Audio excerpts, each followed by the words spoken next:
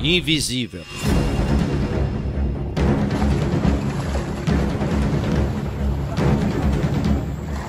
Exclusivo. Isso foi uma coisa planejada, é óbvio. O enigma ainda sem resposta. Um jogo onde as peças pareciam não se mover. Finalmente, depois de mais de 30 dias, novas figuras começam a surgir nesse tenso cenário, onde qualquer nova informação pode fazer total diferença.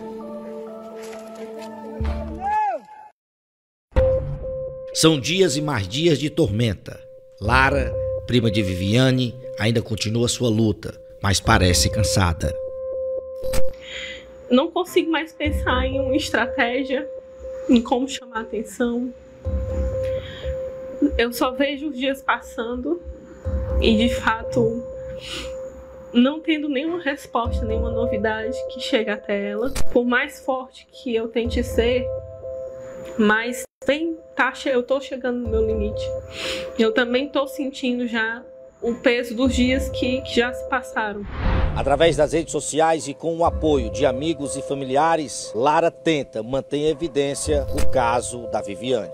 Em uma situação como essa, ser esquecido pelas autoridades pode significar uma sentença de morte. Todo momento percebemos nas suas publicações, suas, o seu Instagram, sua rede social está voltada exclusivamente para este caso.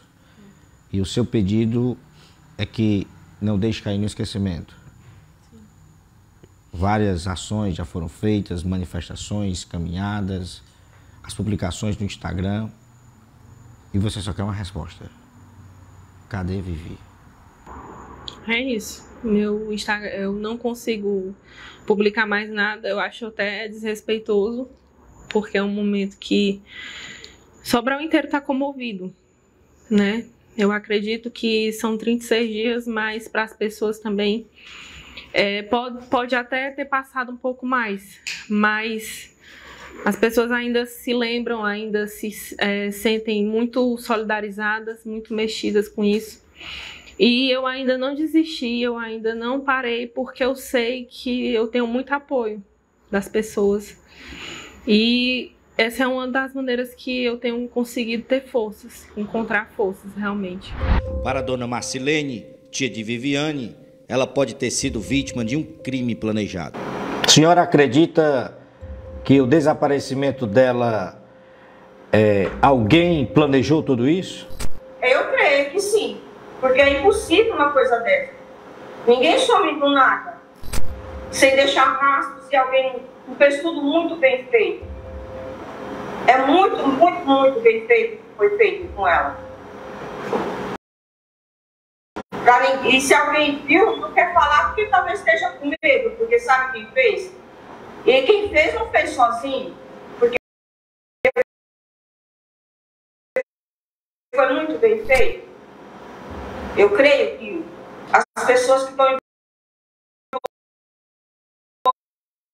envolvidas nisso não é uma só pessoa um novo elemento surge. A movimentação estranha desse carro, horas depois do desaparecimento, cria mais dúvidas acerca deste caso. Segundo informações, esse veículo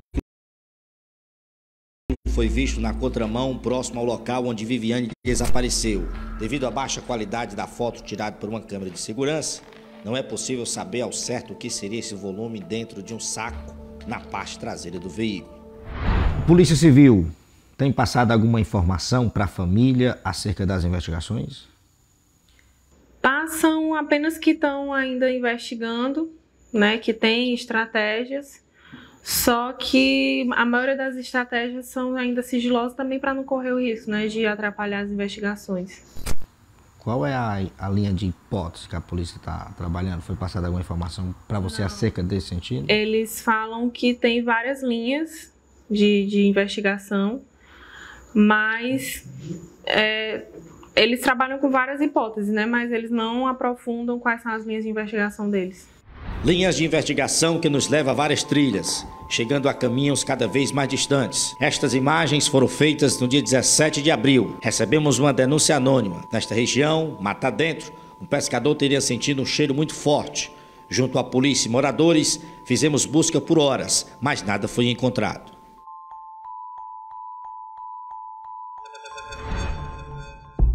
O contato. Após a primeira matéria ser exibida aqui no Sobralense, Lara recebeu uma ligação anônima.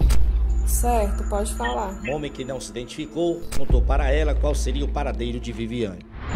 Diga aí que ela tá na favela daí, viu? Pode mandar invadir, viu? Quem é esse homem? Ele estaria falando a verdade? Viviane estaria sendo mantida em cárcere? Certo, pode falar. Diga aí que ela tá na favela daí, viu? Pode mandar invadir, viu? Só isso que eu tô pra dizer. Nas favelas? É, na favela de Sobral. Pode invadir tudo e ela tá lá, viu? Só isso que eu tô dizendo. Tá certo. Tchau, boa noite. Boa tchau, noite, tchau. obrigada. Essa gravação foi levada à polícia, mas foi descartada. Segundo a investigação, isso não passaria de um trote. Seria um prelúdio para resolver este caso? Mesmo com novas informações e mudanças nas investigações, a pergunta ainda continua sem resposta. Aí que ela tá na favela daí, viu? Pode mandar invadir, viu? Onde está Viviane Madeira?